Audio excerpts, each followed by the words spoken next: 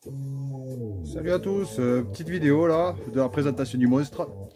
Alors voilà, c'est la petite dernière que j'ai rentrée. Euh, vous m'avez bien fait rire sur les, sur coms. Euh, c'était bien délirant. Il y en a eu deux d'entre vous qui se sont rapprochés et il y en a un qui a réussi à le trouver. C'est ça qui m'a tué. D'ailleurs, je vais vous montrer la personne qui vous l'a trouvé. Hop. Et ouais, c'est l'autre papa qui l'a trouvé. voilà. Alors je vais vous montrer l'engin. Voilà la bête. Voilà la bête, euh, un DT50, euh, cadre de 88, euh, fourche de DT de 2003 d'après ce que m'a dit Mega. Parce que je savais pas du tout le modèle et il m'a dit à mon avis c'est un truc qui date des années 2003 environ, un truc dans le genre. Voilà j'ai levé la selle pour voir ce qu'il y avait à faire dessus.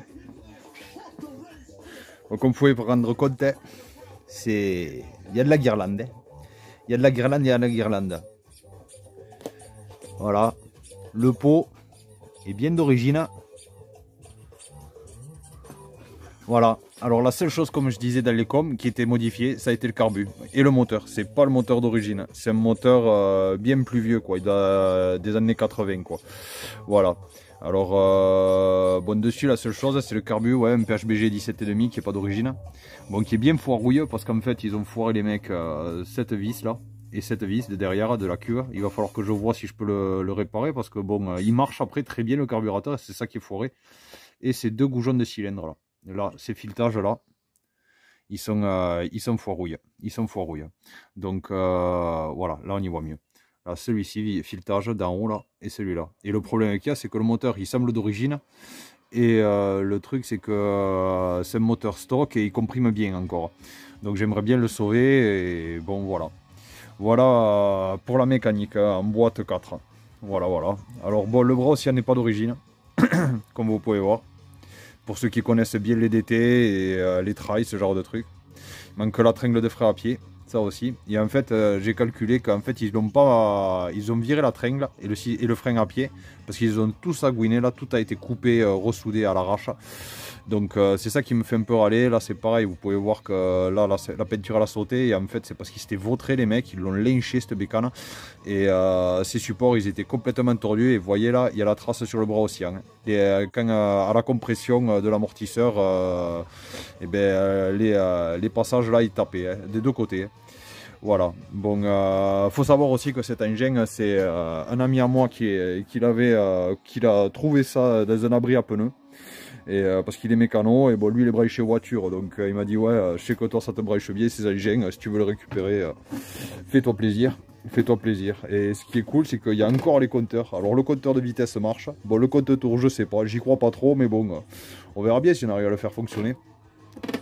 Voilà, voilà. Alors euh, bon, après, le, sélecteur, je pense pas qu'il soit d'origine, parce que bon, je le trouve un peu bizarre, je le trouve un peu trop déporté, ou alors c'est parce que le fait ils ont changé le moteur euh, et ça colle pas du tout euh, avec le truc.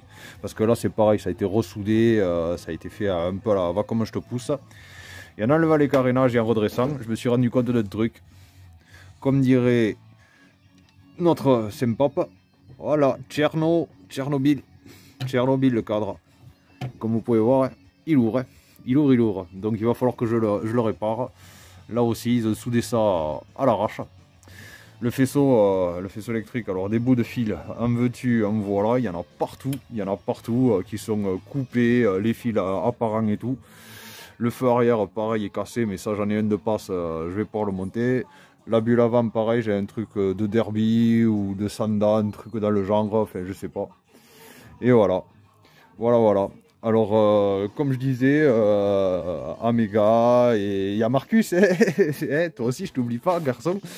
Ouais, voilà. Alors, je pense s'y faire un délire euh, vraiment, vraiment crétinou, quoi. Voilà, voilà. Alors, j'espère que vous n'avez pas été déçus par rapport à l'engin que c'était. Parce que c'est vrai que quand je l'ai démarré, euh, parce qu'il faut savoir que je l'ai démarré avec l'essence qu'il y avait dans le réservoir. Hein. Il y a la moitié du plein dedans, ça fait deux ans, j'ai secoué, j'ai kické 4-5 fois, elle a démarré la pétoire. Donc euh, voyez, rien ne vaut du bon japonais d'origine. voilà, voilà. Je dis ça, je dis tout, hein, ou je dis rien, ça dépend comment vous le voulez. non, je déconne les gars. Non, donc voilà, voilà la bête. Voilà la bête. Et si bon, vous avez des idées de personnalisation euh, qui peuvent être délirantes, parce que si, je la euh, si le moteur et que j'arrive à sauver l'engin, il va être déliré et il va être euh, sur une déco bien délirante. Et, mais pas cher, pas cher, pas cher. Donc si vous avez des idées, laissez-moi les en com et je verrai ce que, ça, ce que ça donne et voir si je peux adapter. Voilà. J'espère que ça vous a plu. Je vous dis à bientôt et bon week-end. Allez, bye bye.